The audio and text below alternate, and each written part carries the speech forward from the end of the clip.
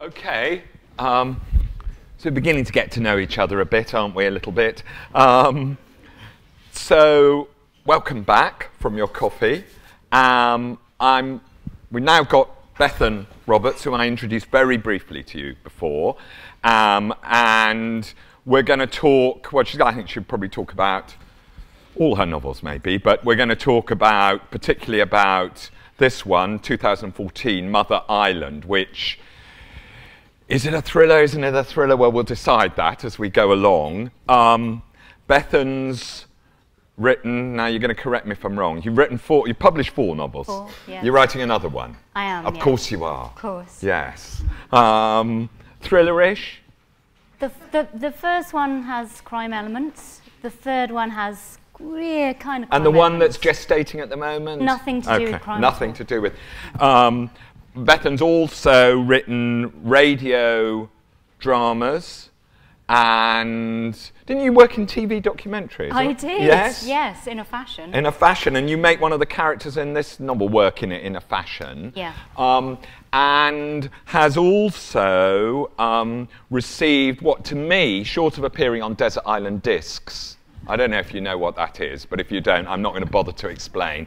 Um, the greatest accolade that British culture has to offer, which is that one of Bethan's books was Book at Bedtime on Radio 4. Now, you may think that. Ah, I, you may, I don't know if you know about this, but it's, it's a peculiar and I think wonderful institution. Book at bedtime happens at 10.45. Yeah.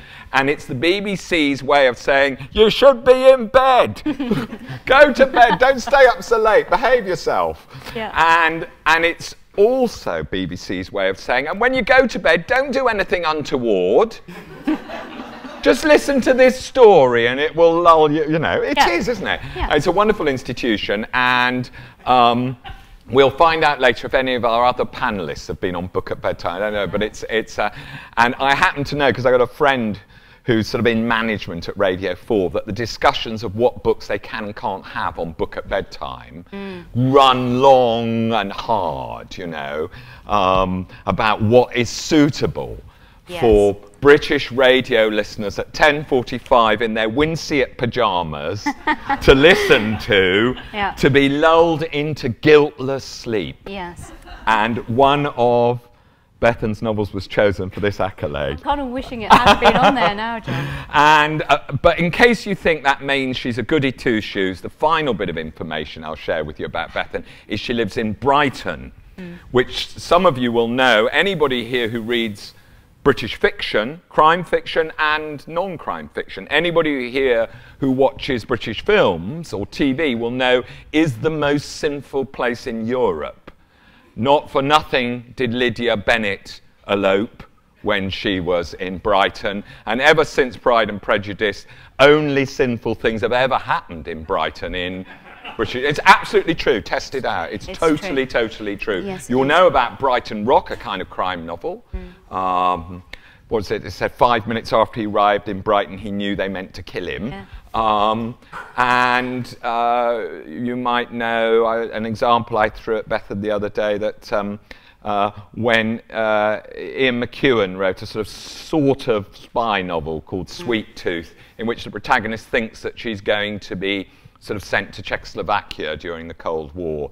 And in fact, she's sent to Brighton, which proves far more dangerous. So, um, so there you are. That's Bethan's Cat's your biography.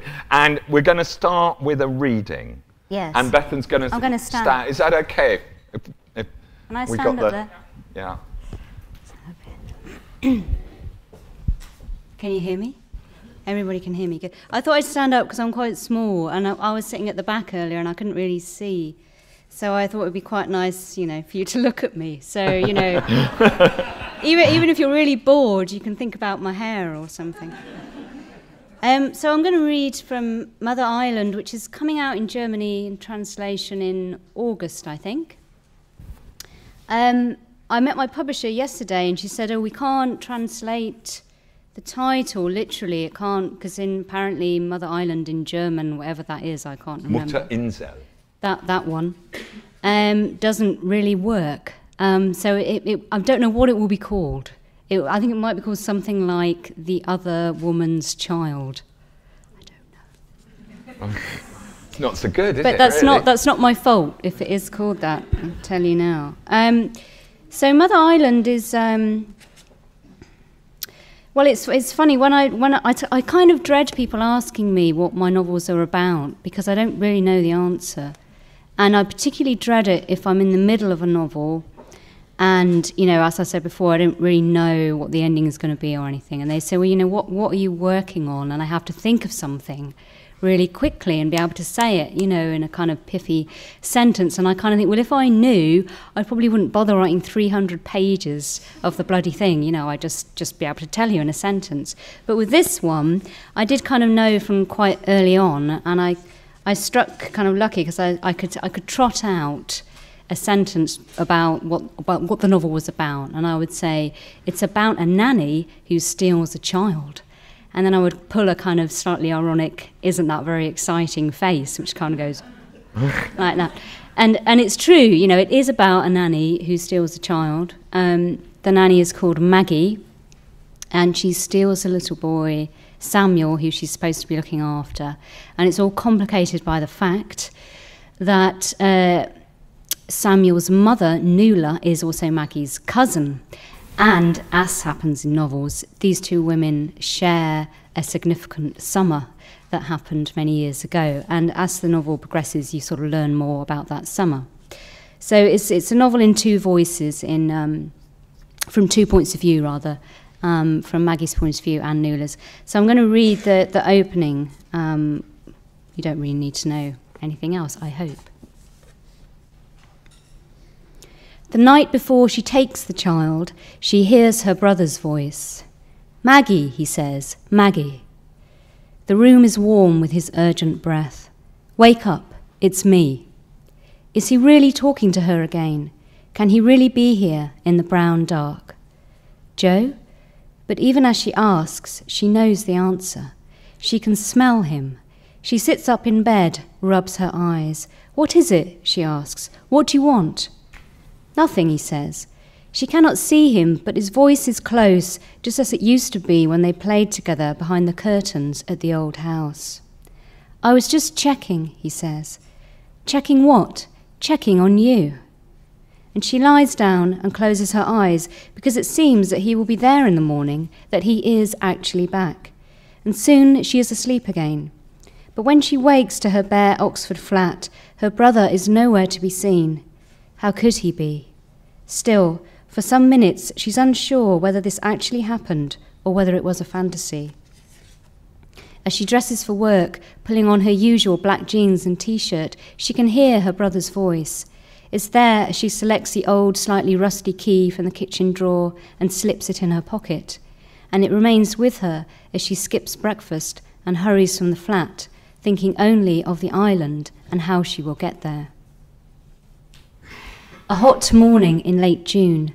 The rush hour traffic pulses in the road outside the Shaw's large Victorian house. Maggie's hire car, a blue Fiat Punto, is parked on the corner, just out of sight. Samuel is in his mother's arms, watching Maggie from the window. Maggie waves to them both, and his face brightens. Nuala opens the door, her body tight with tiredness. They have been awake, she tells Maggie before saying hello, since 4 a.m. Maggie pulls a sympathetic face, touching Nuala on the shoulder as she steps into the shade of the house with its familiar smells of beeswax, baby wipes, and last night's salmon. Why don't you go back to bed? We'll be fine now, won't we, Samuel? Samuel laughs. Nuala's shoulder sags under Maggie's touch. Are you sure? she asks, her foot already on the first polished step of the stairs. Of course, Maggie says, reaching for, her for the child. You need sleep. Nuala nods wearily. Maggie has said it so many times since she arrived at Nuala's house a year and a half ago, and it is still true. Nuala looks back and touches Samuel's cheek, but he is with Maggie now, gazing at her face, saying, Gigi. What would I do without you? Nuala asks. It is her usual response, but it is always, Maggie knows, heartfelt. Go on, Maggie says. A line of spit clear and heavy, runs out and over Maggie's hand as Samuel watches his mother disappear one step at a time. After she's reached the landing, he waves frantically and grins at Maggie. Once Nuala has gone, Maggie does not rush. Her heart does not speed up, and her breathing remains steady. She knows that this is the right thing to do. She takes the boy upstairs so she can pack a few things in a cloth bag a pair of pyjamas, a couple of long sleeve t shirts and trousers, nappies, wipes, his favourite toy, Leggy Monkey.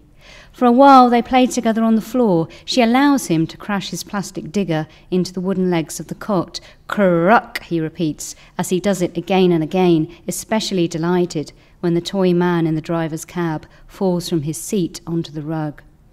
Not too loud, says Maggie, afraid that Nuala will wake. Samuel laughs and makes the sound again, louder. She puts her finger to her lips and he tries to copy her, blowing through his splayed hand and making a wet raspberry sound. Don't get me in trouble now, says Maggie, smiling, and she closes the bedroom door just in case. It is important, Maggie thinks, to maintain their routine as much as possible for as long as she can, and so the two of them attend their usual toddler group at the local church hall. Whilst there, she tries not to check her watch and avoids talking to the other women. Samuel cries when another boy pushes him away from his favourite toy toaster. Usually, Maggie would smile resignedly at the boy's mother, say something about them being all the same, and try to distract Samuel. But this morning, she snatches the toaster from the other boy's sweaty grip, hands it to Samuel, then sits protectively between the two of them. The mother tuts loudly and takes her son to play elsewhere. Maggie remains where she is, unrepentant, slightly breathless. On the way back, Samuel's head begins to nod in his buggy. A nap would interrupt their schedule. She needs him to sleep in the car later. She manages to keep him awake with a pouch of peach smoothie and a loud rendition of a song. Three little ducks went swimming one day over the hills and far away. Mummy duck said quack, quack, quack, quack, and only two little ducks came back. Suddenly realizing what she is singing, she switches abruptly to the grand old Duke of York. Coming into the house, Maggie calls up the stairs for Nuala, just in case she hasn't made it to work yet. Silence. It's 12:15. There's the usual note on the kitchen table. M, thanks for this morning, you're a lifesaver. Have fun today. N, kiss, kiss. P.S. frittata in the fridge, help yourself. Maybe S will eat for lunch too? Ignoring this, Maggie makes cheese sandwiches.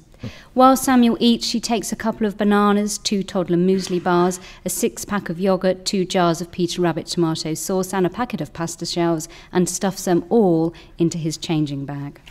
Maggie has often wished that Nuala would empty out and wash this bag.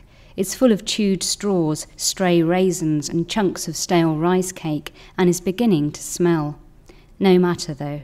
Soon she will be able to clean and organise the bag herself. She allows herself a glance at the clock, 12:30. She sits and watches Samuel chew, leaving her own sandwich untouched. When he has finished, she is careful to wipe down the table and stack the dishwasher as normal. Another glance, a quarter to one. She wipes his hands and face and takes him in her arms. Shall we go out again? she asks. He looks confused for a moment. This is usually when she insists that he have a nap. Samuel, shall we go out in the car? Car! Car! he shouts. She puts him down and he barrels towards the front door and hurls himself at its glass panel beating with his fists to be let out. Reaching for her bags, she glimpses her own wrist and realizes she has forgotten to put on her bracelet. Clasping the naked arc of bone, she briefly considers a quick detour to her flat to collect it. She pictures herself scooping it up, slipping it back where it should be. Then she decides it's not worth it. She can leave the bracelet on the table by her bed. Now that she is returning to the island, there's no need to wear it.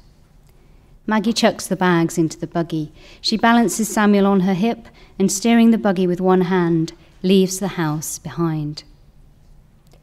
His precious legs, so round and cushioned, his knees dimpled like a doll's face.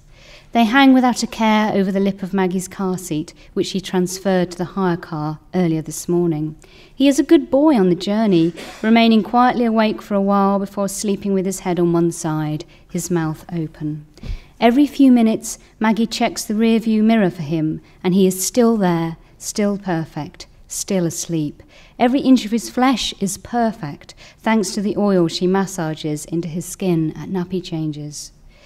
His mother sometimes says it is a miracle the way Maggie has transformed her child. Maggie wants to tell her, he is the miracle, Samuel. They drive for over an hour and he doesn't make a sound. Maggie stops for petrol, looks no one in the eye. The man behind the cash desk says, Hope you've locked your doors, gotta keep the little ones safe, eh? And she smiles and thanks him. As she drives, she thinks about their destination. The place they are heading for is across the water, which runs fast in all directions. This makes it difficult to swim unless you know the times and the tides and where the sandbanks are. You have to be sure of all this in order to get in the water. If you're not, God help you. Soon they will play together on the pebble beach, and Samuel will know the place too. Joe used to tell her when they were younger this island is the mother of Wales. How can an island be a mother? she asked. Because she is fertile and giving, he said importantly. He'd read that in a book. Maggie must have looked confused because he added, you know, good for growing crops, feeding people. She nodded as if she understood. But also, he said, I think it's because people come here for the holidays, like we used to. They come here when they need a rest. The pylons flash past in their pointy beauty. Where they are going, Maggie thinks, there will be few luxuries, but there will be safety. That is the trouble with luxury, such as Samuel's mother has. It can make you feel safe when really you are not.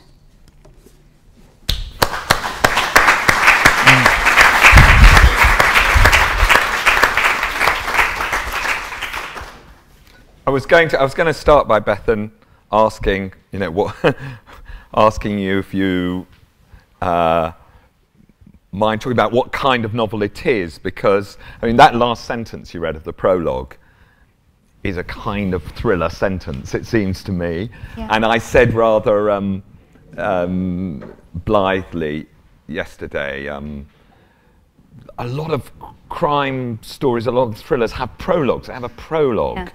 Um, and, and, and, and your novel, whatever you want to, however one sort of defines it, has that same sort of tactic, mm. doesn't it? I mean, mm. why, why, why do you have a, why do you have that, and why do, what, why do crime writers like prologues? Um, I think it's a really, it's a kind of cheap but but very effective way of drawing somebody in. You know, it's like here's the thing. You're not. I'm going to drop you in it. You're not really going to know where you are or what's going on or why, but this, this huge thing is going to happen. And then I think what I've done actually in some other novels as well, thinking about it now, is um, you know start with that thing and kind of almost a meditation on that situation, and then sort of wind back and uncover the layers that led to this thing happening. So you know it, I can see why the publisher sort of thought, oh, it's a thriller. but, you know, to be totally honest, I never thought of it in that way. What, what, I, what I thought I was writing um, to start with was really a novel about Anglesey. um, and, you know, I actually started doing quite a lot of historical research about Anglesey um, because it's a place that's very um, special to me. I don't, don't know if many people know you might, it. might explain what Ynys Môn is. Yeah, I mean, in, yeah, it's um, you know, it, Ynys Môn is means Mother Island, and it is um, it's it's, a, it's it's the island on the north tip of Wales, and basically, my dad is from there. And everybody who is from Anglesey, their first language, at least when my dad was growing up, was Welsh. And of course, people who live in England don't really know that that is the case. Um, so it, you know, we lived in this very English place, a town called Abingdon, which is right in the centre of England, and in a lot of ways is Middle England. A very small town. Um, it's totally flat, and you know, every summer we would go to Anglesey and we would go through um, Snowdonia, which is this, you know, very beautiful, slightly menacing mountain range. So, uh, you know, what, I remember going through it, it's like, oh my God, you're in a film. You know, this place actually exists. And you would go through it, you, we would never stop and actually walk around because that would have been far too middle class. so you know, we just went through in the car uh, with our sandwiches and then, you know, we, we went across the bridge, which again is a beautiful suspension bridge, very famous suspension bridge over this glittering strait which was itself dangerous. You know, we were warned about the currents in the strait. To Anglesey, which felt to me at once familiar because it's where my family are from. You know, it's kind of where I belong in some ways. And deeply, deeply unfamiliar because I didn't speak the language. And suddenly my dad was speaking Welsh and I didn't know who my dad was anymore, you know. And my mum was feeling awful because she didn't speak Welsh. And so it was this kind of place of sort of secrets, hidden things, feeling uneasy. And so I really, really, really wanted to write about it. And I'm trying to think of a way to write about it for ages. And at first I thought, oh, I'll write a historical novel about Anglesey, because my last two books had been historical novels, really. But I'd only just had um, a little boy. So I didn't have time to write a historical novel because historical novels take an awful lot of research and especially if you're researching about a place where you know everybody didn't speak English, you know, um, whose their first language would have been Welsh. So I thought, well, to get into the minds of those people is going to take such a lot of research. I just don't have the time. And at that time, I did actually have a book contract, so I had a deadline. So I had to speed it up.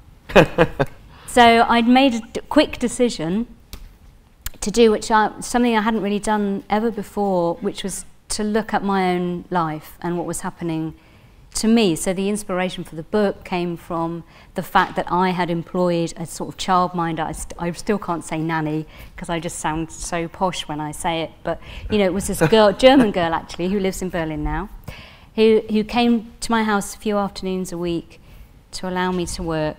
Uh, and she looked after my little boy. And one day, my husband said to me, What do you mean she's taking him out in the car? And I said, Well, she's got to go out. You know, she can't, they can't stay in the house all day. And he said, But what if she doesn't come back? You know, and of course, I had thought of that myself, but I just pressed it right down in order to enable myself to carry on with my work. And, um, and he just said it, and I sort of thought, Oh, okay maybe I can write about that.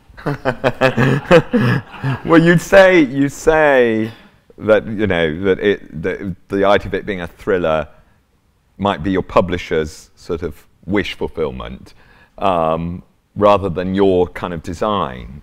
But I'm aware, I'm very much aware, talk, talking about it, and I'm preparing to ask questions, that I'm having to take exactly the same care that I will have to take this evening with Val, mm. that I had to that I've had to take that I had to take this morning mm-hmm. with Sophie about how much you can say without giving things away because it does have a structure which depends upon um, as you said, uh, discoveries and revela- and mysteries. Yes. You know, yeah, yeah. and it does have that narrative structure, which which I can think of some ways in which you you know one could distinguish it from crime novels anyway. Although I guess abduction of a child is a crime, yeah.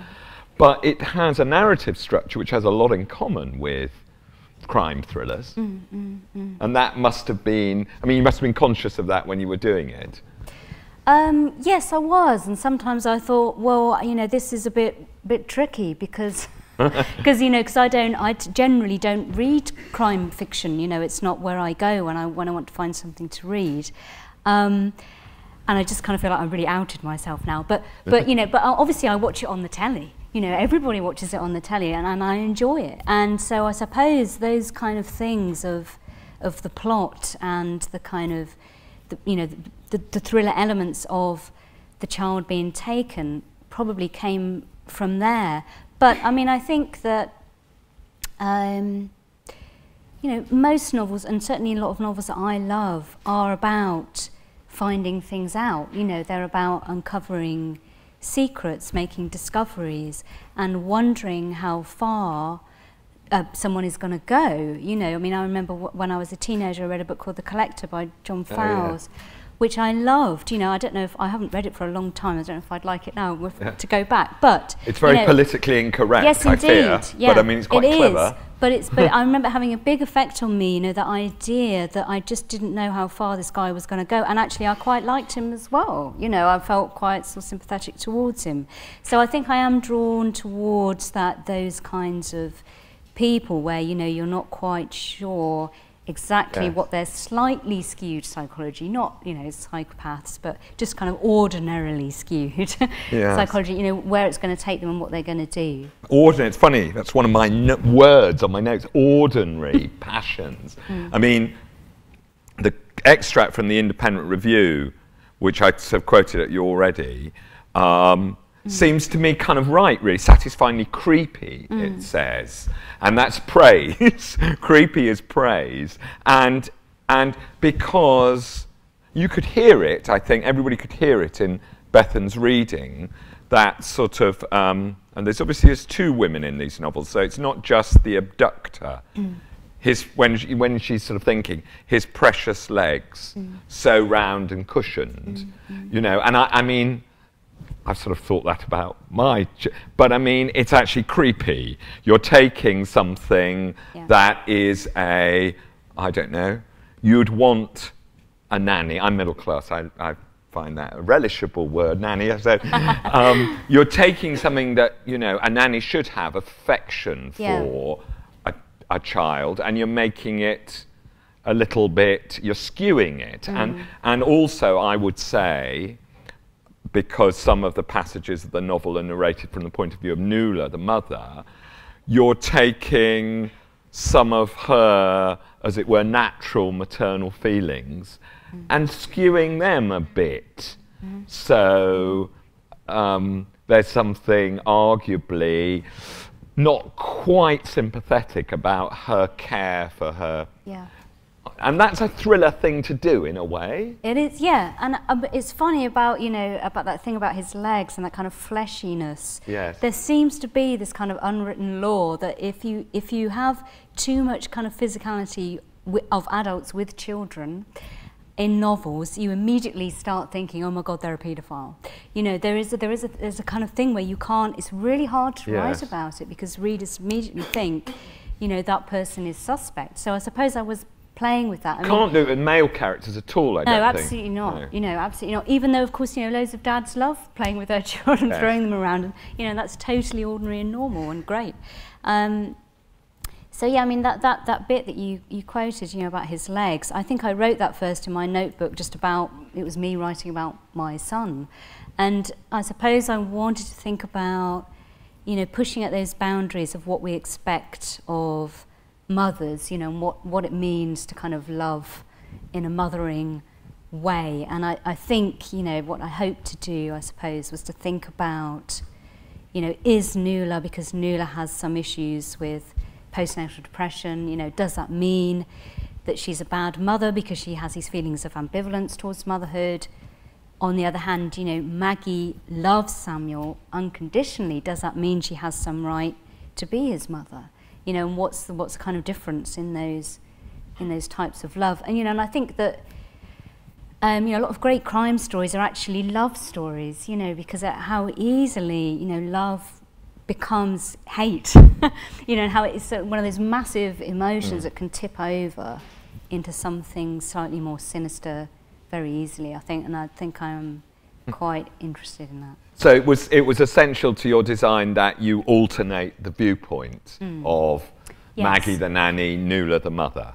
Yeah, yeah. And, and there's another main character in this, Greg, the dad, and we don't ever see who's arguably the most creepy of all, actually. Poor Greg. Um, yeah. Poor Greg, but but he is he's creepy. no, he no, sort he of is, he is. comes on to the nanny, in a, but yeah, in no, a sort of. Yeah, he's horrible. He's horrible, yeah, isn't he? Is? Yeah. Um, and but uh, so but he we don't get his viewpoint. Obviously, it had to be altern alternating in and, and in they're in quite sort of discrete sections. So we don't move from one to the other as we might sort of move from Charlotte Lucas to Elizabeth Bennet in the same chapter. we no. get them in their own bits of the narrative, and that you you knew that from the beginning. Yeah, I mean, I was interested in, you know, like I said, thinking about, you know, mothers and nannies and what the differences were. You know, were nannies bad and mothers good, or was it the other way around? And um, I suppose I felt. I remember when I was writing it, I felt quite cross that I didn't, I didn't seem to be finding in novels the scenes that were happening in my own life of, you know, uh, that kind of very intense period of, of early motherhood um, and how difficult and challenging and wonderful and, and, you know, just downright hard work that is. That just doesn't really seem to be in novels. So I kind of very deliberately thought, well, I'll write, I'll write a novel about that because I don't, I didn't find it, you know. And, and it was kind of like, you know, th- through the rest of my life, I sort of looked to novels for the answers, and suddenly they weren't giving them to me. So I felt a need to write it, and I did want it to be equally. At first, I wanted it equally to be the mother Nuala's book and the nanny Maggie's book. But actually, what happened was when I showed it to the editor, they said, well, you know, it has to be someone's book. You know, you can't, it can't be equal. I'm not sure whether that's true or not. I kind of understand it that, you know, when you read a book, you want someone who is the main, the main person. So it, it kind of became Maggie's book, actually. Yes, it is mm. sort of more hers. Yes, it is, yeah. Yeah. Although the peculiar thing about it, it seems to me, mm. which I think is one of the brilliant things about it, is I always sympathise more with the one of the two who's not, whose point of view I'm not in. Yeah. so when I'm with, when I'm in Maggie's head, I'm thinking, God, the poor mother. Yeah. And when I'm in the mother's head, I'm thinking, God, you complacent, you know. Um, so, and I'm, I'm not sure I'd agree with it. What the editor feels that you've got to have a sort of centre of Yeah, that seems to be the idea that you know you have to. It has to be someone's book. Right. You know, and I, actually in quite a lot of my books, I quite like it to be shared out fairly equally. You know, and I think that's a really interesting and good way to get tension in, in novels. Is just from you know exactly as you said, of presenting this. You know, not the same things exactly, but sim- you know the same action, if you like, from different points of view, because you've immediately got conflict and Yeah. tension. Um, but yeah, there seems to be a thing of you know readers expected to expect there to be someone who they're kind of rooting for, I suppose. I'm not, I must say, because the whole point of the book is to take, I think, uh, any reader, whether they've had children or not, would recognise as kind of plausibly ignoble feelings. Mm. So, whilst, so the mother, while she's employing this nanny who's also her cousin, mm. and saying, You're great, you're great, you're great, mm. is sort of thinking, I don't want you to be too great. No, yeah. I don't want my kid to like you too much. Yeah. Because my kid's actually spending more time with you than with me. I really don't like that. no. So, and, and looking for signs of that. Mm. And the nanny, while she's officially saying to the mum, well, you know, you call the shots, of course, whatever you say, Mm. it's your son, is in fact thinking, you don't deserve him, isn't she? Mm. Yeah, she is. Yeah. And those are completely plausible, and I would say, in a way, common but suppressed feelings in that sort of situation. Yeah, yeah. I mean, it, when I was, um, you know, when I had my, my, my very young son, I would go to toddler groups, and I remember this. There was a kind of strange thing where you would go, you know, because I live in quite a middle class area of Brighton, even though it's very sinful. It's quite a nice, quite a nice place with lots of parks, and cafes, and things. And so, you know, I would go to toddler group, and you weren't, you couldn't actually be really sure if the the woman with the child was the mother or the childminder. So you had this kind of little dance that you do where you go, oh, you know, talk about the child, and you wouldn't say, you know, your child or whatever, and you kind of wait for it to be revealed which one it was because you didn't want to tread on any toes. And I remember one of them saying to one one childminder saying to me, um, "Oh yeah, you know, he he cries when when when I give him back to his mum." And I was like, "Oh, okay, that's interesting.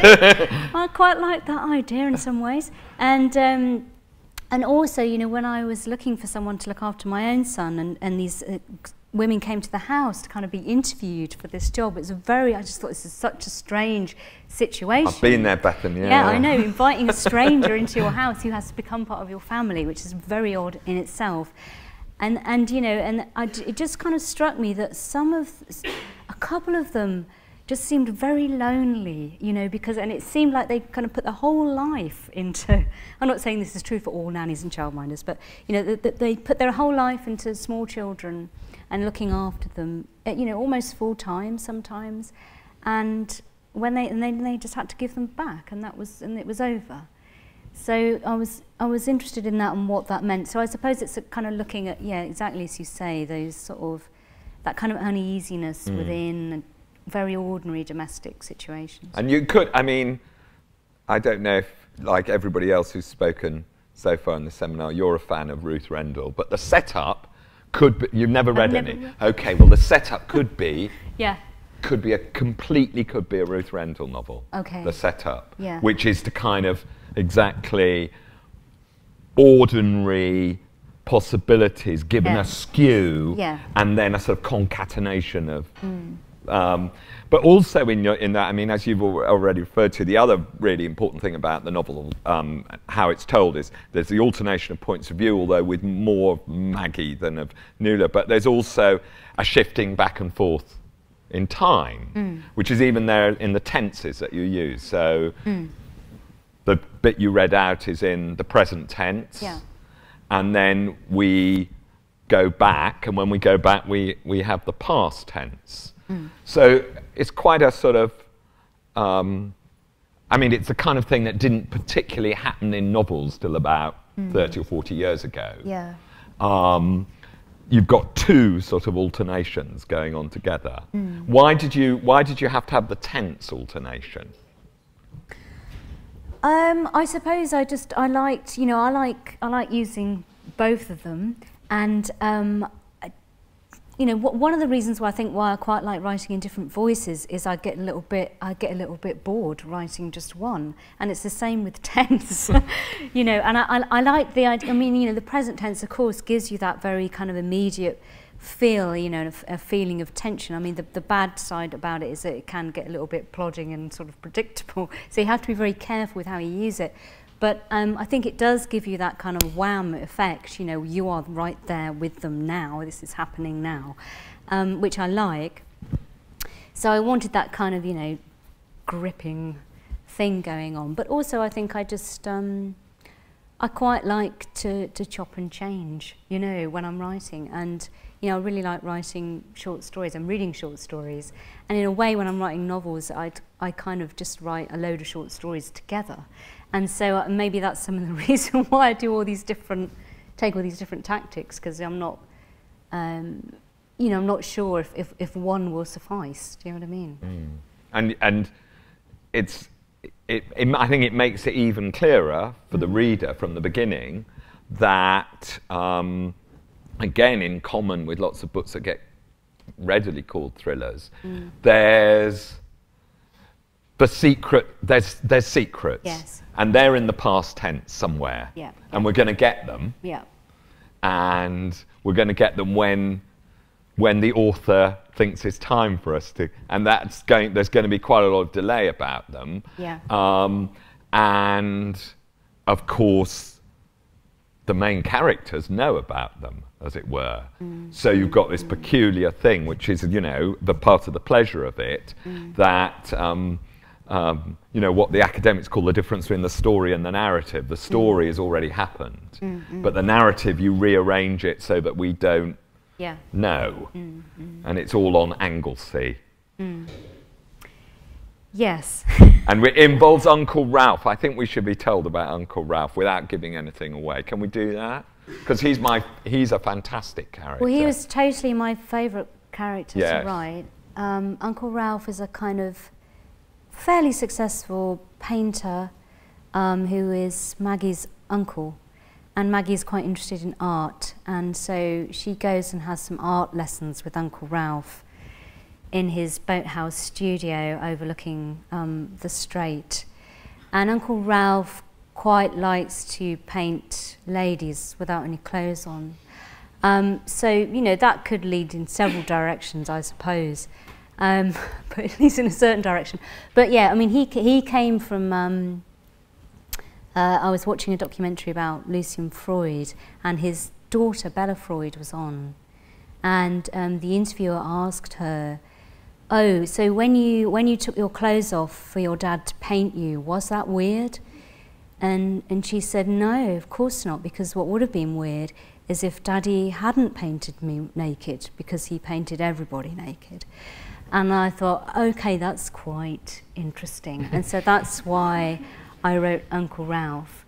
Uncle Ralph was going to have his own short story, but then he made it uh, into the novel. And Uncle Ralph is, is Nuala's dad. Yes, he is. Yeah, sorry, I should have said yeah. that. Yes. And and um, and again, in a way, a kind of a sort of fictional convention, which is a bit of a thriller convention, because you take them to Anglesey. Mm. So there's there's Maggie and her parents, mm. and and they go to Anglesey for a reason to do with a family problem as well. Mm-hmm. And they're there, and then uh, the outsiders, I mean, they're relatives. Mm. But Uncle Ralph is what? He's sort of talented, feckless, charming, amoral, mm. you know, amusing, mm. intelligent. Old man six pack. Yeah, sorry? Old man six pack. Yes, yes. And yeah. sort of by turns sort of lascivious but sort of quite attractive. Yes.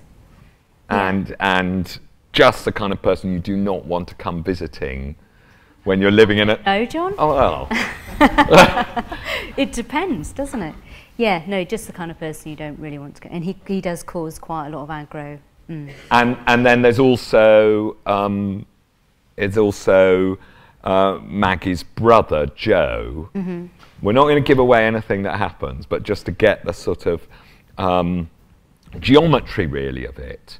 And that's how I kind of think. Do you, I mean, do you do diagrams when you when you're when you're um, writing a novel like this? Because that's almost how I think of it. These sort of relationships mm. and the kind of the trouble that they're going to lead to. Yeah.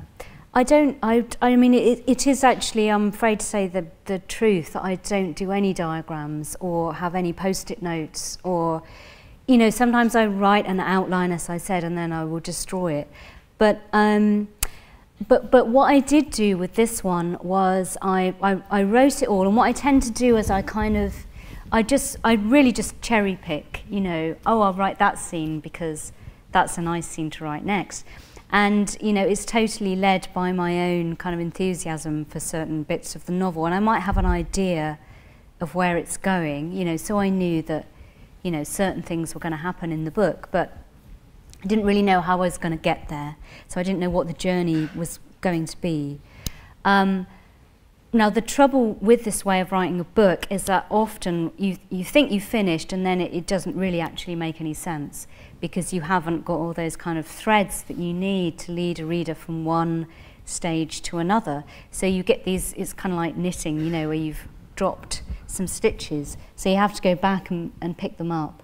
So in fact, this, this, the structure of the novel was all worked out afterwards. You know, I wrote the scenes, I didn't write them in the order uh -huh. that they are in the novel at all. Um, in fact, I think I started with that with, with the scene in the middle where Nuala is thinking about um, her son having been taken, and that actually comes, I think, past the middle now. And and then I sorted it out, right. you know. And I, I mean, don't do this at home because it's a nightmare. Uh, but you know, but I have some writer friends. I mean, I kind of write a writer's workshop, and luckily for me, one of them is really good at plot and structure. And he read it and he said, What you should do is this. So I did that. and that's, that's really what happened. Um, but so yeah, so it is, it is, it is kind of instinctive and it is a, a case of finding out and finding those connections and then, and then putting them together. Uh.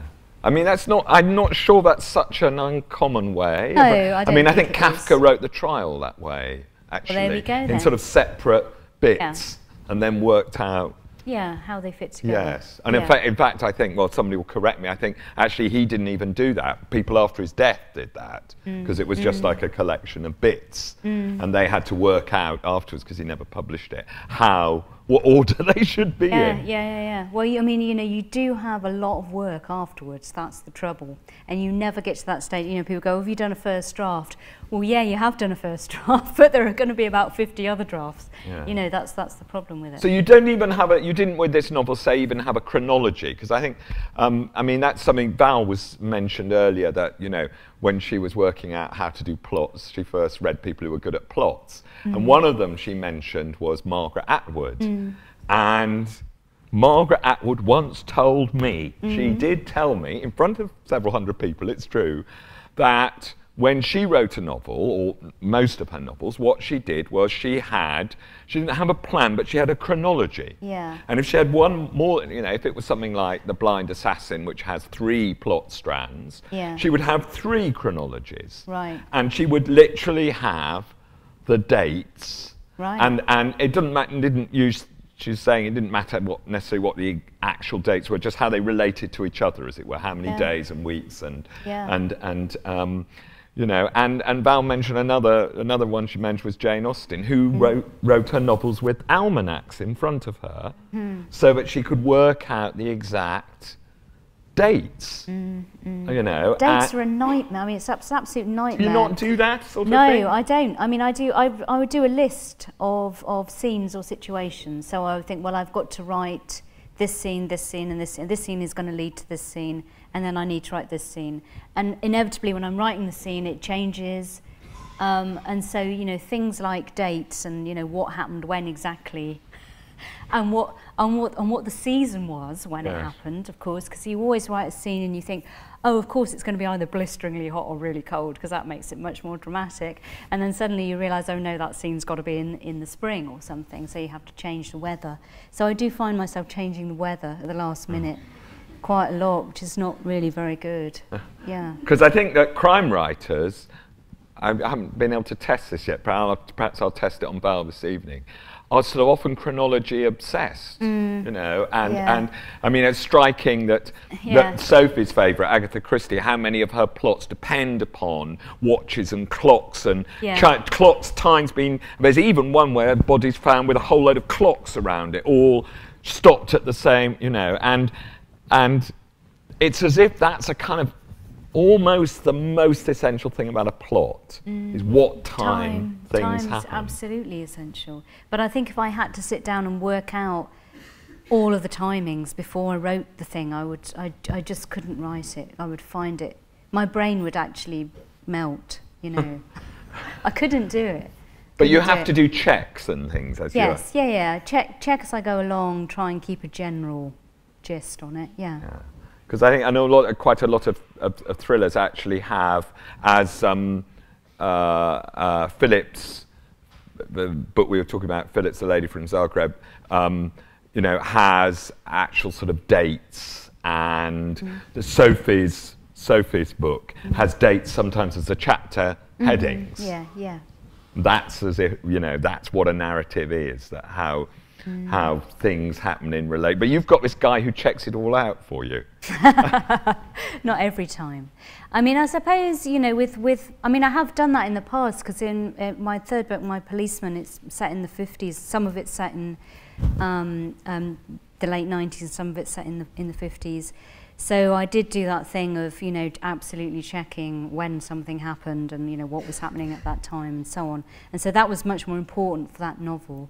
I mean, with this one, it was much more. I think about you know that thing of when you know we're, we're all kind of in a lot of different times at the same time because you know because um, that's how our minds work you know we're sort of we're, we're now in the moment but we're remembering something almost all the time you know in different kind of layers of time and you know I think one of the reasons why with this book it kind of goes back and forth such a lot and it's and it operates on those different time scales is because I wanted to get that sense of um, how you know the past is always informing our present. And in fact that's kind of how we how we think of how we how we create ourselves you know is from those different pasts and kind of who we were then. So I think you know that's my kind of excuse for not for not being very good at chronology well i think the chronology the chronology of this novel works. I Yeah, don't I think there's hope any so. flaws in it. No let's hope not. And and you go back when you go back in time you go back to to i guess to find the favorite thing which in a novel you go back in time for which is a sort of family secret. I mean Hmm? it's sort of it's necessary i mean you mentioned they're cousins. Hmm, and i remember when i started reading i thought why does she make them cousins? Why does that matter? Hmm. But they have to be cousins somehow, don't they? Can you t- explain why without giving anything away? Um, I think I was interested in cousins. I mean, I was thinking of my own cousins. Not that you know, n- none of the things in the novel actually happened to me, um, but but but you know, I was thinking of kind of going going to Anglesey and being with my cousins and and how um, like me they were because they look quite a lot like me. Um, but how unlike me they were at the same time, and how we were expected to have some kind of quite strong bond, um, but at the same time you were complete strangers. And I think, you know, I was also thinking about kind of those very intense female friendships, you know, teenage friendships, and how they work. And I thought, well, what, what, what would happen to that kind of friendship if you were also cousins? You know, and if that, that other significant person in your kind of teenage life, that kind of model that you were holding up, that, oh, this is how you, you become, you know, an older girl, um, was also your cousin. Um, and I just found that quite interesting. I think it's something about, you know, being, being related and having all that baggage and shit that comes with that, but, you know, being very different. And were you, you know, you plan, knew from the beginning what the what we were going to discover? Um, was I it the Sophie the Hannah beginning? method where you know, you know, you've Yeah. got it all? Um, I'm trying to remember whether I knew or not. I think I didn't actually. No, I think I knew that. You know, I knew that that, that Maggie was going to take the child. I, I kind of knew how it was going to end, and I knew that, that that Joe would be very significant, but I didn't know what that what that kind of emotional constellation that you know everything else comes from was going to be. You know what that moment was going to be. Um, until probably I'd written about half of the book, yeah. Because right, because quite near the beginning of the novel, Hmm. we find out about some really obvious fault lines between Maggie's parents, who Hmm. Yeah. take her off to Anglesey. Yeah. Which, when you're reading it, it may have been this may have been a latter discovery. Now we find out sort of how you wrote it. But when you're reading it, you're thinking, you know, what does what does Fiona, her, um, Maggie's mum, says? Oh, we're we're we're going to Anglesey. Um, we're moving to Anglesey because we're going to do something your father wants. Yeah. Mm-hmm. And I think as a reader, you immediately think this can't end well. Yeah. This cannot end well. and indeed. Yeah. Yes. Yeah. Yeah. And so, was that a sort of latter discovery for you, or was that a, always as encoded for, for you writing it as it is for now when one reads it? Um, I think it was it was always there in that you know I knew that Maggie's family had to be quite significantly fucked up, you know, um, because otherwise it's just not very interesting. And um, you know, I think in all my novels, you know, what I'm really interested in is a kind of nitty gritty, everyday detail horror horror of family life. Yes. um, and you, you know all those all those things that we don't that we don't talk about but are there all the time um, and, and that's kind of you know what I'm tr- that, that's the kind of mystery and the secret that I'm trying to uncover I think when I'm writing you know what what's really going on within families so so yeah you know I think I knew I knew all along that that, that wasn't going to go well and that there were going to be bad reasons why it didn't So it's a Tolstoy thing. Unhappy families are the most yeah of the of the essential topic of fiction of your fiction. They anyway. were they, yeah, they are for me. Yeah, I mean, it's all kind of about family sagas, really. So are your all your other novels about unhappy families as well? Um, yes. yes, nothing goes well, really. Yes. Um, I mean, the, you know the first one, the first one is about a crime in that it's about the murder of a young boy, um, and that actually came from a true life um, story when I was growing up in Abingdon. This this boy went missing at Christmas, and um, I was about nine years old, and he was about thirteen, and it and it was a it, it actually worked out that he was he was murdered by another boy um, of, of who was slightly older than him, and this happened in this very um, kind of apparently safe, very um, small little village next door to me. It's a kind of strange village called Sutton Courtenay. and Oh, it's yeah. got you know it's got it's in the shadow of Didcot Power Station. Didcot Power Station is kind of monster, you know. But it's also old- got an amazing sort of 18th century estate. Yes, indeed. So, so it's, uh, half of this village is kind of, you know, Princess Margaret, I believe, has a holiday house there, had a holiday house there. And, you know, the other half is kind of, you know, council estate power station.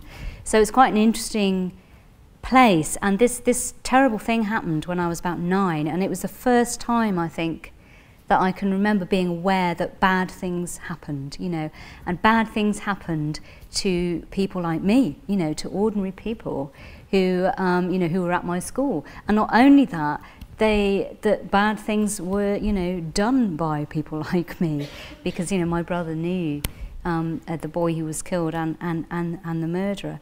So th- th- my first novel, you know, came from that, but actually the pools, it's called here, it's called uh, Stille Wasser.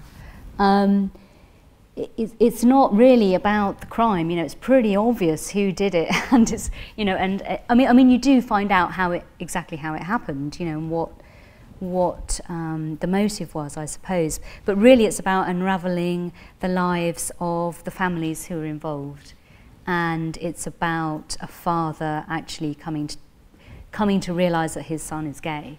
And so, you know, it's about those kind of secrets within families and that feeling that, you know, when this kind of thing happens in a small community, when this crime happens in a small community, there's this feeling that kind of everyone has blood on their hands and everything is changed, you know. So I was interested in that. So, so yeah, so it's kind of gone gone from there. That kind of crime, um, you know, the kind of family horror, really. Ah. So, I mean, this one, as you said, Mm. It's distinguished from your other novels in that there's a lot of your own experiences Mm. that have gone into it. Um, and you said, "Oh, but none of the bad things have happened to me." But, but, but I always think, you know, one of the many reasons, apart from lack of talent, that I could never be a novelist is that I'd have to base it on my experiences. And then people I knew well, especially people I was fond of, would go, God, is that what you were thinking? My God. Now, perhaps that's vanity and nobody ever does that. Or they only do it to Philip Roth, maybe. and certainly they should do it to Philip Roth. But anyway. Yeah. Um, and uh, I mean, in this novel, was that, I mean, Yeah. maybe, a, maybe a sort of, a, a, a, a seem a trivial thing, but it must have been no, quite. No, it's not trivial. I mean, it's um, when this novel came out, I did feel very exposed in a way that I didn't with the others because the others had these kind of real life events that I had taken and then transformed in one way or another. And this one was much more obviously, oh, Bethan's had a baby. She's now she's going to write about this, you know. so. Um, it did feel very exposing, you know, it did feel kind of risky. I'm not really sure if I would ever do it again, actually. Um, and, you know, I did put a lot of stuff in the, I mean, you know, I do think that probably in this book, you know, Maggie and Nuala are both me. You know, they're both kind of how I felt about being a mother. There's kind of two conflicting um, poles of experience of motherhood. You know, I've sort of experienced all of them. Um, and, you know, in fact, you know, the, the girl who came to my house to look after my little boy, who now lives um, in Berlin, in, in Charlottenburg, and I'm going to go and see her tomorrow. um, she, you know, when, when I said to her, oh, because she was doing that while I was writing the novel, and I said, I'm going to write this novel about a nanny who still was a child. I hope you don't mind. and she kind of went, okay, you know. And, and then she was very interested, obviously. Has she it read it? Be like. She's read it. Ah, And she, interessant. Indeed, and you know, we, I'll tell. I don't. I don't know how it's going to be tomorrow, but um. Oh, but- you haven't talked to her about No, no, I have talked to her about it, Yes, and she what did she- says she says it's it's fine, and you know she really enjoyed it, and very good Bethan pat on the back kind of thing. Yeah. So she hasn't quizzed me, No. but you know there are some things in there that you know to be totally honest, you know that I did take from our experience, Yes. you know, and you know g- gave them a bit of a different spin. So I was quite worried about her picking up on this, um, but you know I just I, I made everything very different. You know, Yes, dis- of I course, of it, course, but I and now I've told you all. But you, I mean, reading the novel, I read the novel before I'd met you, and I think I'd have to kind of make, I'd have to kind of find the evidence. It'd be quite sort of painstaking to do it, but I think it could be done. When I read it, mm. I thought, oh well, obviously, I didn't know anything about you. I thought, well, obviously, she's had a child. Yeah. Bethan must have had a child to write this. Mm. lots of people have written good, really plausible and good novels with babies and children and who haven't had children. Yes, absolutely. But some of this just has to come from experience. And I'm, I mean, I don't know, that's praise, it's neither praise nor criticism, it's mm. just an observation. Mm, mm, and mm. I guess if I'd worked as the nanny, I mean, there would be a danger, I would think, God, so that's what she was yeah, thinking. Yeah, yeah. yes, well, indeed. Uh, you know, so that for that reason, it did feel very risky. And, but, you know, again, it, it, but it's a kind of weird thing, you know, I don't really like this idea of, you know, writing as therapy and that, you know, you have to write about your own painful experiences in order to sort of give yourself closure or whatever. But with this novel, you know, I have to say I did feel that I kind of needed to write it, you know, that there was something about having a child that was so traumatic that I had to write, you know, that, that I did have to write about it. And, um, you know, and I do think it's kind of one of those areas that is a little bit underrepresent, underrepresented in, in, in, in, in kind of, you know, literary fiction. Um, so yeah, you know, I can't. There is kind of no hiding place. There it is. Yeah, mm. and you but you're not going to do that again. I remember. No, I remember. I once interviewed Beryl Bainbridge. I don't know if you've read any of her novels. Yeah. she's really good. She's a really good novelist. And she said, I, I said, oh, some of your novels were seem to be sort of set in the late 20th century, and then some of them are set in, some of them are historical. You know, how does how does that come about? And she said, oh, very simple. She said, I I I used entirely for my first 10 novels. I used my own experiences, and then when I run out of interesting experiences, I went and read some history yeah, books. Yeah, yeah, and and and actually, right. she was being very sort of mo modest, really, because yeah, yeah. her novels are usually brilliantly invented. But they was also true. Yeah. And I realised it's not just that she'd written some of one and some of the other she'd written a whole load in a row, mm. which were in some way or another based on her own life. Mm, mm, and then she kind of couldn't think of any other bits of her life to use. And then so then she wrote about the Crimean War and going to the South Pole with Scott and the yeah. Titanic. And yeah, yeah, yeah, absolutely, absolutely. But I mean, I think you know when you're, you're having written a couple of historical novels, and now I'm writing a novel about Elvis Presley.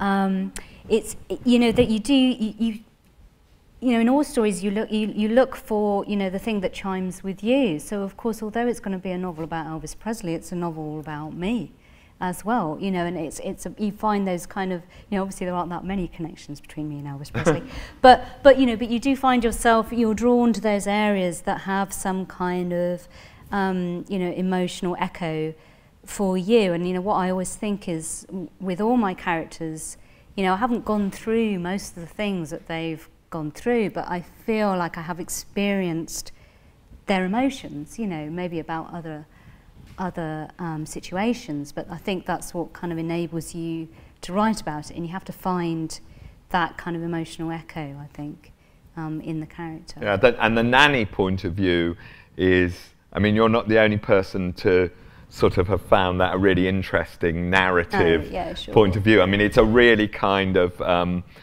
uh, and I think thriller writers have done this sometimes as well, narratives from the point of view of servants, or yeah. and suddenly the sort of enviable and respectable yeah. family yeah. or marriage is seen in a way for what it is. Yeah, yeah, yeah, yeah. Got kind of uncovering. Because Nuala and Greg have got a. It's not a very good marriage, really, is it? No, no, no, no, it isn't. And you know, and I always like those those novels where you know the under the underdog or you know the underclass, as it were, kind of can see through the pretensions of of those apparently above them. Um, so yeah, you know, I just can't help it. That's kind of what I always do. I think. And you make Nuala sort of dabbles with adultery, but yeah. Well, we won't say what happens, but she does. she does. Drinks coffee. That's what yeah, she does. Yeah. Yeah. You didn't think of sort of letting her, letting her get away with it. Um, I, I did. I did think about it, and then I thought, no, it's just kind of too easy to do that, really. You know? And you said you knew how it was going to end all the time. I knew, I knew kind of the, the, I knew kind of the emotional place that it would end. You know, um, so I was kind of always aiming for that. I didn't, I, I, did, I didn't know how I was going to get there and I didn't know exactly how that would leave everybody, but I kind of had a sense, I suppose, of the of, of the atmosphere of the ending. Yeah. Um, I mean, in my in my book before this one, my policeman, I always I didn't really know anything that was going to happen in that in that novel, although it's based on it's based on the real life story of um, E.M. Forster and his lover Bob Buckingham, and it, you know I've just kind of taken that as a kind of jumping off point and transposed it to some different characters. But the, but actually the the novel began with the ending because I read about Bob Buckingham, who was Forster's um, policeman lover for, for about 30 years and kind of the love of his life, really. And he shared, um, Forster, Forster shared Bob with Bob's wife, May, who was a nurse. And at the end of Forster's life, it was May who actually um, was there nursing Forster after a stroke, and she was there kind of holding his hand. And I thought, you know, that is just such an extraordinary thing that you are there holding the hand of, of, of you know, your, your, your husband's lover. So that, that was the ending of, of that novel. I knew it was going to kind of end or in that place, you know. Right. And I had that before I had anything else, really. It's, it's, uh, it, you, you won't thank me for pointing out that although you, you, you've never read any Ruth Rendell, it ends with a real Ruth Rendell ending. I give nothing away, Yeah. but in that, I don't know if you do you hear Sophie talking about the different kinds of Ruth Rendell novels, and the, the psychological thriller ones, usually, unlike the detective novels, the police arrive right at the end. Mm. And, and they arrive, but the novel's ended because actually the novel's not about the police bit, it's about all the weird psychological kinkiness. Yeah. And, and th- your novel, I think it gives nothing away to say that, as it were, the forces of responsibility and law and so on knock at the door at the end. Yes, yes. But that's the end of the Yes, novel. Yes, apart from that, they're irrelevant. Yeah. And the Blessed Ruth would have appreciated Oh, that. well, good. I'm glad to hear that. I'm very glad Perhaps to hear your that. kindred spirits, really. Yeah, you should I know. try I, some. I do need to. Um, I think we got to the stage where we got the mic, mics. We got our mic, our mic. Oh, can we? If anybody's got questions uh, that Bethan can answer without giving away the mystery, now's our chance to ask them. Has anybody got a, got questions? It's, it's, yes, it's quite late, isn't it? Yeah, no. Everybody's Well, we've we'll, Go we've on. got one at the front and one at the back. So don't let them off the hook No, so I easily. know. No, no.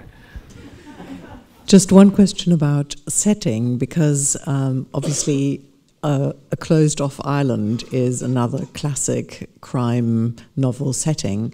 Um, a lot of novels seem to be defined by where they are set. So we have Peter James writing about crime in Brighton.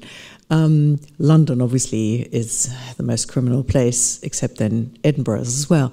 Um, has that ever sort of uh, interested you as the the place as part of the um, or the setting driving the characters as well, Yes. putting them in a spot where they can't get away, and then let them hack it out.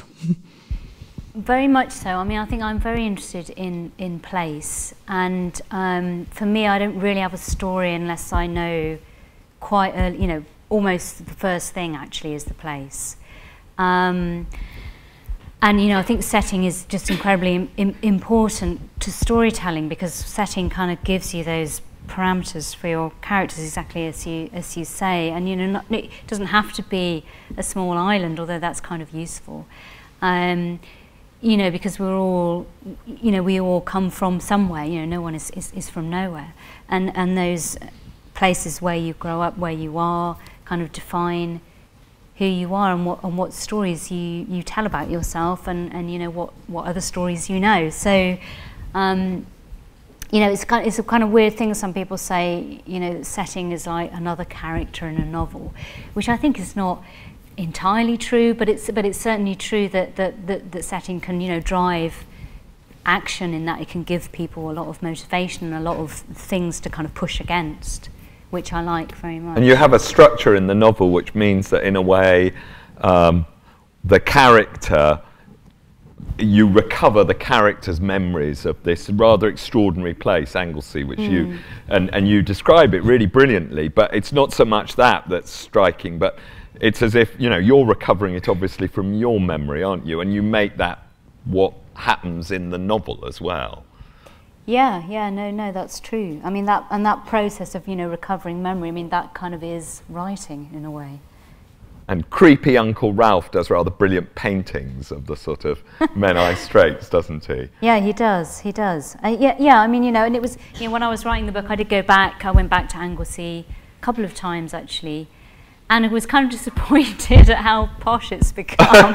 Because you know, um, Wills and Kate have a house there and all this. There's Okay. Waitrose on on Anglesey now, which is terrible. Really? On Yeah. Anglesey? Yeah, Because R.S. Thomas, who came from Anglesey, used to write these poems about it. I don't know if you've read any of them, which make some. it out to be sort of some outer space. Yes. You know, Well, you know, beyond the reach of all metropolitan triviality. Not anymore, John. Good old Waitrose. Waitrose John Lewis, there. they weren't going to let him lie quiet in his grave, No, were they? no, it's a travesty. We've got a question at the front. I haven't read the novel yet, and I don't know if you can answer this question without revealing too much or anything. But from what you've said already, uh, this flashback or this this thing from the past is very, very important to the novel. And I realize that those kinds of things can be a little tricky because you're taking the readers out of the present into the past, and maybe they want to stay in the past because it's so interesting, or they want to get back to the present. What did you do to guard against those two things, or or how do you approach that kind of problem as a mm. writer? Mm. Well, I mean, that, that is a kind of structure problem, really. And a big problem I have as a writer is that I often kind of just start doing a flashback, you know, and then I'll have a flashback within a flashback within a flashback. Because, you know, I kind of start going, oh, yeah, and then they remembered that and they remembered that. And that's sort of terrible, you know, for readers. Because That's you can- Sherlock, that you- is, yeah. you, you completely kind of lose the thread. You know, it's very easy to lose the thread when you do that. But um, you know, I, I do I do love it as a reader. You know, being able to kind of do those jumps in time. I mean, that's one of the great things about a novel is that you can just go anywhere. And um, so I think you know the, the, the key really is in that in that final stage for me of, of, of structuring the novel and making just making it very clear where you are when. You know, I mean the truth is you can go any place in time wherever you like, I think, in a novel, but you just have to be very clear with your reader. This is where we are now, and give them a little clue. Mm. You know, as to as to what's going on in this in this in this current. You have lots of different current moments, if you like, and that's a great joy of a novel. I think. But the tense thing mm. makes that, you know, Yes, it's a the way of saying, it's like having a film where this, you know, with black and white and colour in or something like that. yeah, so yeah. at any moment reading a, a sentence, Yeah. you, know You know whether you're you in the past or the present. Yes, yeah, yeah. No, the, the tense allows you to do that. It's kind of shorthand. Yeah. Yes, there's a t- two more. There's a question there, and, then- and then there's a gentleman in, next to the. In, yeah, please. Um, I'd like to come back to what you said about creating a sense of place. When I teach Victorian novels, my students always get really impatient with the long descriptions of locations and setting and so on. So I was wondering how um, you think about um, what amount of description you allow yourself for creating that sort of at- atmosphere. Um, it's a bit tempting, isn't it, to do pages and pages of stuff, you know, especially if you've spent a long time thinking about it and researching it and writing notes. But um, I suppose what I try to do is to see it through a character's eyes and to limit it to um, significant details, you know, so it's not just detail for detail's sake, it's detail for the sake of, um, you know, the themes, the atmosphere, the plot, the characters, so that the place will, you know, be acting, you know, both as, as, you know, the literal setting and as something which will kind of heighten either the, you know, the, the feeling that the characters are going through or, you know, some idea in the novel. So, you know, it's kind of a thing of always seeing it through that, that kind of filter, I think, and not letting yourself just go off on one. What are, what are the Victorian novels they get cross about then? Thomas Hardy. Hardy. Yeah, I knew it would be Hardy. yeah. They don't like that.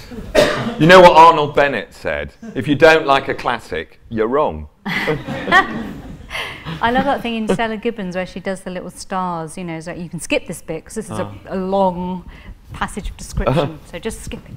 Yeah. Gentlemen. Um, I'd like to ask a question about the experience of writing.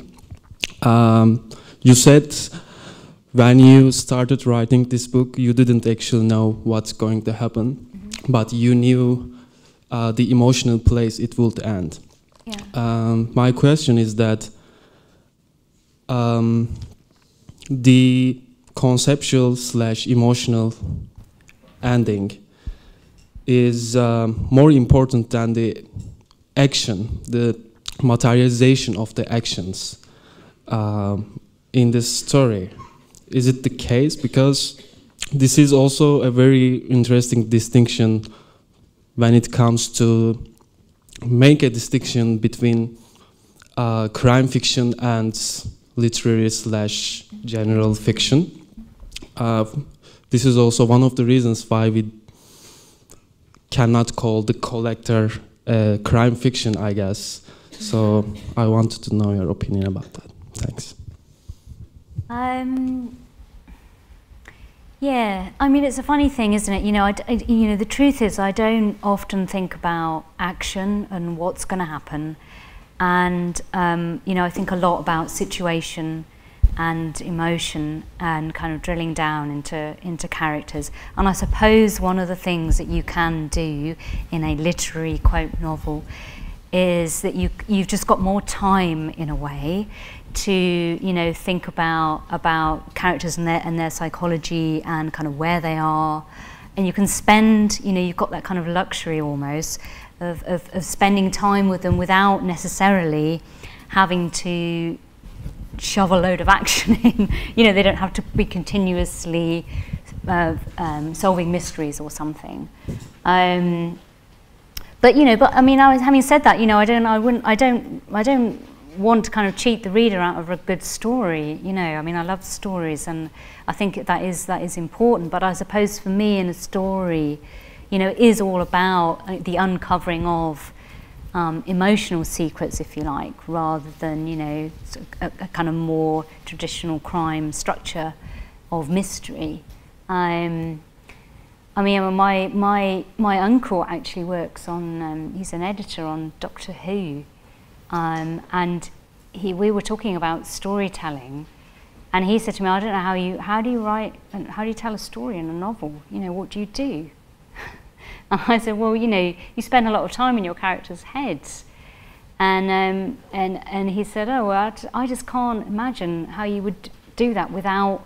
action, you know, without making them do something. Because of course he's always he's thinking in TV terms of you know everything has to be something happening all the time. In a novel, you know, you can actually get away with quite not a lot happening for quite a long time if it's an, if it's happening in, a, in an interesting enough way. I think. I think James Joyce did this a lot of times. Well, indeed. Yeah. There you Uh, go. Yes, uh, he did. Although, although the action, I mean, the bit you read out at the beginning Quite to us lot of all. action in there. Yeah, but also I'm just thinking that again, um, without giving anything away, when you you hear the prologue, you know right at the start that Maggie is abducting the child that she's supposed to uh, look after, and you don't know, I think, from the prologue exactly where she's going, but she's going off to somewhere that she's planned to go to. And I think that when you, and you put that right up front, and I think when you read that or when you hear that, you think she can't get away with this. I mm. don't mean that in a moral Yeah, way, I mean no, in no, a no. practical Yeah, way. yeah. Doesn't mean you know what's going to happen, but there's no way that she's going to end up living in Abingdon with this kid as hers. Mm. That can't happen. I mean, just mm. as a practical thing, mm. All sorts of things Yeah. could eventuate. Mm-hmm. Um, But you know, don't you, in advance, you've chosen an initial action Yes. that can only have a certain range of consequences, Yeah. haven't you? Yeah. I So the suppose so. No? No, no, no, no, no. I think that's right. But I mean, uh, what I'm, th- what I think I mean is that you know, I don't then kind of, I don't then kind of think, well, now this is going to happen and this is going to happen and No. this is going to happen. You But know, the reader, that's part of just what it is to read it. Yes. Mm. That all the time you're reading, you're thinking, I wonder how this is going to work out. But you're thinking that within a range, as it were. Yeah, yeah, yeah. Yeah, it gives you a kind of framework, Yes. doesn't it? Yeah. Yeah. No, that's right. But we haven't given anything away. I hope not. No. I don't know. Have we, have we got any more questions? Before, oh yes, we have. Uh, before we abandon you to buy Bethan's book or have supper or both. I'm sorry, this is a bit of a personal nature, but it, uh, the question will relate to your uh, experience in Abingdon. It, so, it so happens that my son, at the age of nine, went to the European school in Abingdon. Yeah. And uh, when we went there, we felt that he was always under the shadow of a possible explosion of that nuclear plant or of the toxic waste that was blown into the air, somehow damaging him. And I was wondering whether that would not also be uh, perhaps the root or, I don't know, the basics of a new novel. Who's giving you something there, Thank Bethan? you. Yeah, thank you for that. I'll, I'll, I'll make a note.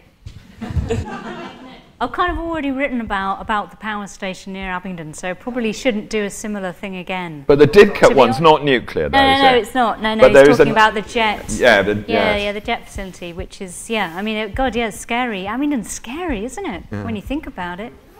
Well, there is actually a rather, I think, a rather good P.D. James, one of her better ones, about um, a, a, a thriller, Who Done It, a Who Done It, which all takes place in the shadow, quite literally in the shadow of a nuclear power station in Suffolk. Um, I think it's called Devices and Desires. Um, isn't that the right one? Which is a quote from the from the Book of Common Prayer, and and it's very good, and it's a it's a good it's a real sort of at her peak one, and the shadow of the nuclear power station. The, it's one of the things which is most cleverly done. So there's nothing quite perhaps as literal as what you're suggesting, sir. That, but somehow the presence of this huge building, and it's based on Sizewell in Suffolk, which is this nuclear power station on a very beautiful bit of coast, but some, there it is. Yeah, yeah. Um, and and I, I once said to P.D. James, I think it's brilliant how you use the power station in that, and and it's very spooky for me because my, my uncle who's who's dead now was one of the engineers that helped build it, and if you saw how his furniture always fell apart, it used to really really worry me. It still does slightly, that, but that's a that just added piquancy to the Ah, my experience of the Absolutely. Terrifying. But I'm, I'm wondering, I'm wondering now. I think probably it's time now to, to dine. Yes. Yes? And, oh no, Elka's going to. Won't you? Yeah, thank you to Bethan, yes?